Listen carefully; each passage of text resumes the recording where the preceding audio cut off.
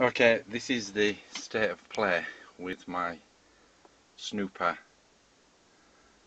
um, in-car entertainment slash navigation system. I'll uh, put the ignition key in and start the vehicle. Um, I'll now try and start the unit. Um,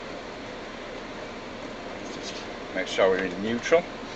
Um, as you can see there's no lights on the unit. Um, we can press all the buttons. Absolutely nothing works. This bit here does eject and come off.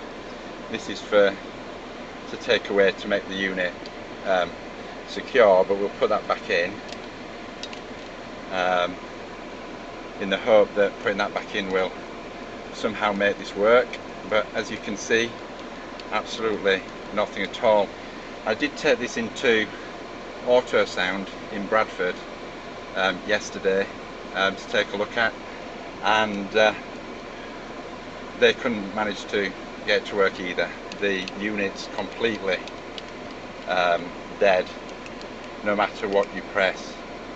Um, I'm sure you can hear the engine running, the lights are on there. Um, it did work in, in, initially and then it started to work intermittently and now it's not working at all. Unfortunately, I'm off down on a trip to London on Friday, which means not only do I have no music um, to listen to, um, but I uh, I don't have any access to the reversing camera either.